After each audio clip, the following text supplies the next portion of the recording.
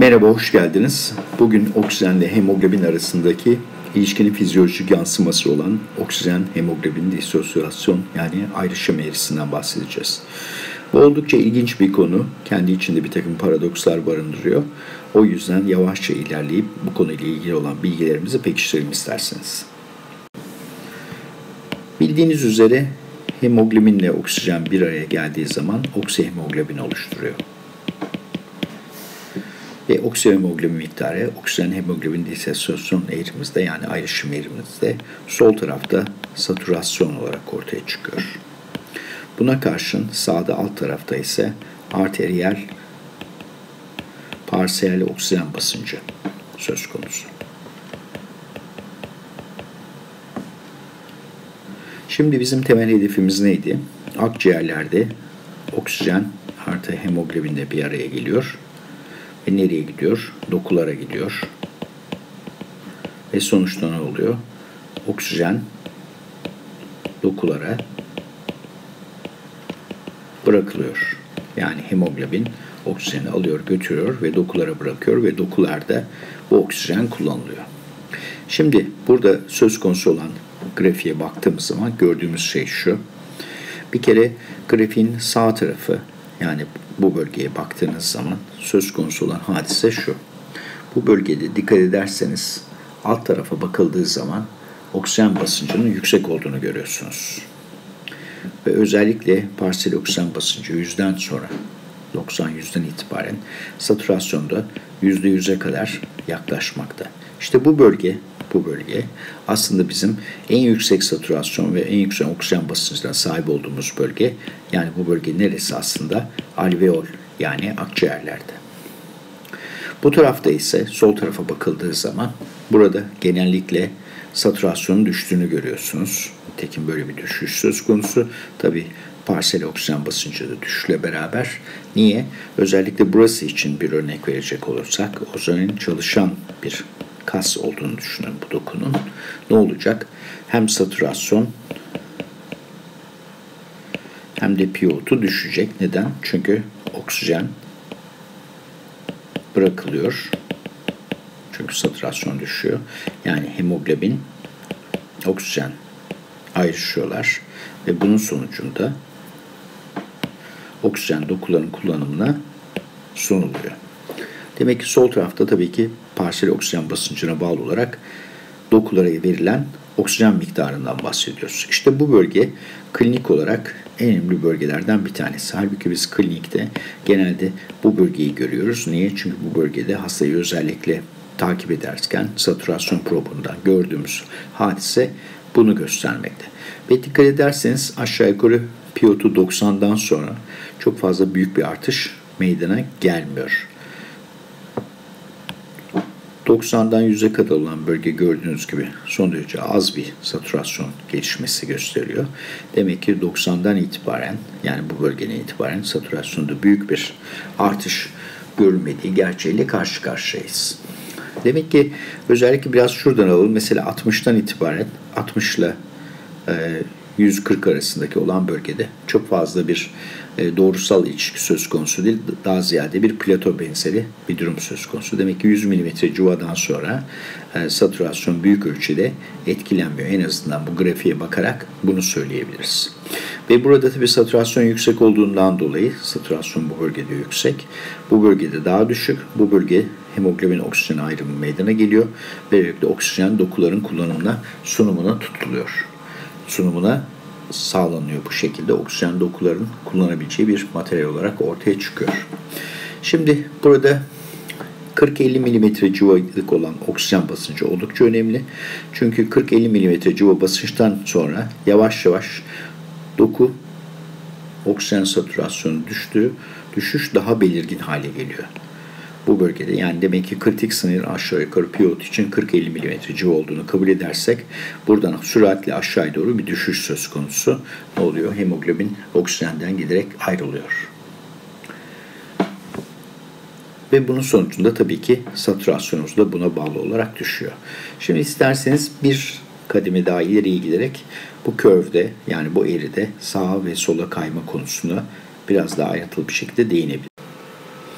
Evet burada oksijen ayrışım eğrisinin sağ ve sola doğru kaymasından bahsedeceğiz. Sağ ve sola doğru kaymasının ne anlama geldiğini göreceğiz. İsterseniz ilk önce bir sağ kaymadan başlayalım. Sağ kaymada çizgimizi tamamladığımız zaman göreceğimiz birkaç önemli nokta var. Bunlardan bir tanesi şu. Aynı arteriyel basınçta yani PO2'da söz konusu olduğu zaman bakıyoruz saturasyon arasında bir fark var. Saturasyon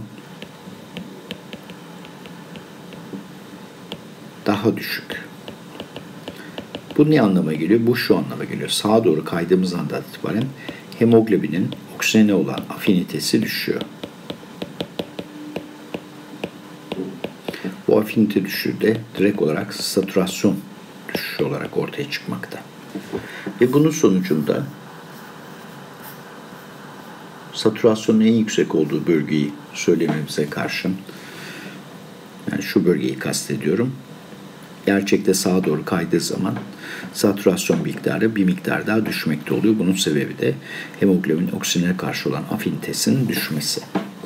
Bununla ilgili söyleyebileceğimiz birkaç şey var. Bunlardan bir tanesi ısı artışı. Yani özellikle 38,5 derecenin üzerinde olan durumlarda ve aynı zamanda 2-3 difosfogliserat artışı ki bunu da biraz sonra açıklayacağız. Ve aynı zamanda hidrojen iyonlarının konsantrasyonunun artışı ki buna asidoz adını veriyoruz. Asidozda sağa doğru bir kayma söz konusu oluyor. Hemoglobin oksijene olan afinitesi düşüyor ve saturasyonumuz da buna bağlı olarak ortaya düşüyor. Isıya gelince bir kere ısı özellikle vücut ısısıyla beraber burada kastettiğimiz kanın ısısının artışı 38,5 derecenin üzerinde oldukça fazla hemoglobin oksijen oranı afinitesini düşürüyor ve bunun sonucu da ısı artınca afiniteden kastımız ne? Daha çok oksijen açığa çıkıyor. Tabi daha çok oksijen açığa çıkması ne anlama geliyor? Daha çok açığa çıkan oksijen dokuların daha çok kullanılabileceği oksijen anlamına geliyor. Özellikle bu tablo eğrinin düştüğü bölgelerde daha süratli oluyor. Çünkü oksijen satürasyonu bu bölgelerde sağa doğru kaydığı zaman daha düşük. Yani dokuların oksijen kullanımı daha kolaylaşıyor. Sağa doğru kaymanın temelinde yatan şey oksijen kullanımı daha doğrusu oksijen sunumu dememiz daha doğru olur. Oksijen sunumu sağa doğru kaymada daha çok ortaya çıkıyor. Asidozda söz konusu olan şey aynı şekilde hemoglobinin afinitesindeki oksijene karşı olan afinitesindeki düşüşlükten kaynaklanan bir hadise. Zaten temelde eğer bu afinite düştüğü zaman asidoz olan bölgelerde gerek argon, e, gerek organ, gerekse vücutta söz konusu olduğu zaman oksijenin daha çok serbest hale dönüştüğünü söylememiz mümkün. Tabii dokular fazla çalışınca karbondioksit de artıyor ve parsel oksijen basıncı sağlayan oksijen miktarında da bir artış meydana geliyor. Yani karbondioksit de aslında bir yerde PO2'yu arttırmak için kullanılan yöntemlerden bir tanesi. Daha doğrusu serbest oksijeni ortaya çıkıyor. Hemoglobine bağlı olmayan bir oksijeni ortaya çıkartıyor. Biraz evvel söylemiştim bir de 2-3 difosfogliserat vardır. 2-3 difosfogliserat bir glikolitik yoldaki bir ürünlerden bir tanesidir. 2-3 difosfogliserat genellikle hemoglobin molekülünün yapısını değiştirerek ve bunun sonucunda afiniteyi azaltmaktadır. Demek ki ısının artışı 2-3 difosfogliserat düzeyinin artışı ve asidoz eğrinin sağa doğru kaymasına sebep olmaktadır. Burada asıl önemli olan şey hemoglobin oksijen olan afinitesi daha çok e, azalmakta ve bunun sonucunda da oksijen sunumu daha çok artmaktadır. Özellikle periferik dokularda oksijen azaldığı durumlarda özellikle hipoksi, kronik obstrüktif akciğer hastalığı, anemi, konjektif kalp apnezliğinde dokulara daha fazla oksijen sağlanmaktadır. 2-3 difosfogliserat artışı bunu göstermektedir. Düştüğünde ise tam tersi düştüğünde ise 2-3 difosfogliserat düştüğünde bu sefer sola doğru bir kayma söz konusu olacaktır. Peki sola doğru kaymada ne olacak? İsterseniz birazdan onu da görelim. Sola kaymadan önce sağa kayma ile ilgili kısa bir özet geçmemiz belki daha iyi olabilir. Sağa kayma denilen hadisede bir örnek verelim mesela. Diyelim ki çalışan bir kasımız var. Ve bu çalışan kas çalıştıkça ne oluyor? Bir karbondioksit üretimi artıyor. Bir de aynı zamanda hidrojen iyonların üretimi artıyor ve bunun sonucunda ne oluyor? pH düşüyor ve asidoz meydana geliyor. Bir de tabii ki çalışan kas ne yapıyor? Glukozu yıkıyor. Glikozu yıktığı zaman ortaya ne çıkıyor glikolitik yolda? Biraz evvel söylemiştik. 2-3 difosfo gliserat şeyi artışına sebep olacak şekilde bir üretim söz konusu oluyor. Demek ki bir hem karbondioksit artışı var, hidrojen artışı var ve bunun sonucunda asitoz meydana geliyor. Glitikolitik yol çalıştığından dolayı 2-3 difosfogliserat söz konusu. Peki bu durumda söz konusu olan hadisenin bir çalışan kas neye ihtiyacı var? İhtiyacı var. Bunu görelim. Neye ihtiyacı olacak? Tabii ki oksijene ihtiyacı olacak. Ve oksijene ihtiyacı olduğundan dolayı oksijeni karşılaması için hemoglobinin oksijen afinitesinin düşmesi mi yoksa artması mı işe yarar? Tabii ki düşmesi işe yarar. Düştüğü andan itibaren de dokuda oksijen sunumu da buna bağlı olarak artacaktır. Yani sağa doğru kayma söz konusu olduğu zaman oksijenle hemoglobin arasındaki ilişki gevşemekte ve oksijen sunumu artmaktadır. Bu çalışan kas örneğini hatırlarsanız çalışan kas örneğinden bu söylediğim mekanizmayı kullanarak sağa doğru kaymanın ne anlama geldiğini daha rahat algılamanız söz konusu. Peki eğrimizin sola kayması ne anlama geliyor? İsterseniz bir de ona bakalım. Sağ kaymada hemoglobin oksijen afinitesinin azaldığını söylemiştik. Halbuki sola doğru kaydığı zaman hemoglobin oksijen afinitesi artar. Daha sıkı bir hemoglobin oksijen bağı oluşur. Yani hemoglobin oksijeni bırakmak istemez.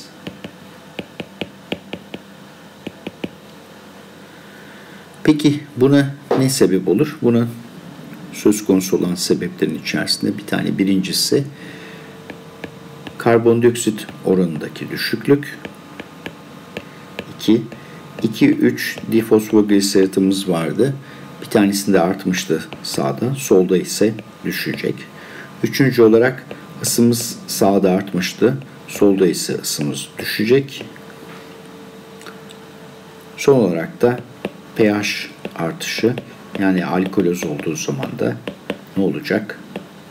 Bir sola kayma, eğride bir sola kayma meydana gelecek.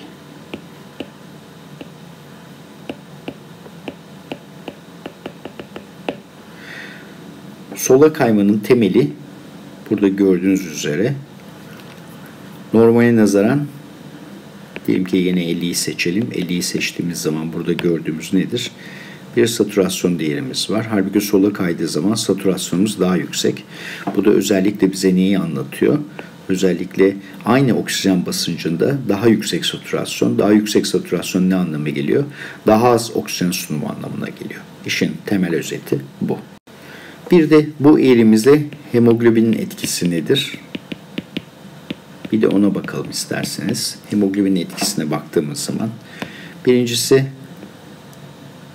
hemoglobin daha düşük olduğu zaman daha düşük saturasyonlar söz konusu olacak. Hemoglobin daha yüksek olduğu zaman daha yüksek saturasyonlar söz konusu olacak. Demek ki hemoglobin artışı saturasyon artışı demek. Saturasyon artışı da demek eğrinin sola kayması demek. Sola kayınca ne oluyor? Afinite artıyor. Hemoglobinin oksijene olan sevgisi, afinitesi artıyor. Böylelikle oksijen sunumu azalmakta. Bu da hemoglobinin bu eğri üzerindeki etkisi. Son olarak sağ ve sola kaymanın temel prensibini bir kez daha gözden geçirelim. Örneğin mavi yapalım. Mavi söz konusu olduğu zaman mavinin anlamını hemoglobin oksijen afinitesi düşük, oksijen daha rahat serbest kalıyor. İşin felsefesinin temelinde bu. Peki sola doğru kayma olduğu zaman ne olacak? Sola doğru kayma olduğu zaman ne olacak? Hemoglobin oksijen afinitesi artacak. Bunun sonucu oksijen daha az serbest kalacak. Bu son slaytta da gördüğünüz üzere bu oksijen hemoglobin eğrisinin ne olduğu konusunda sağlıklı bilgiye sahip olduk. Görüşmek üzere, hoşçakalın.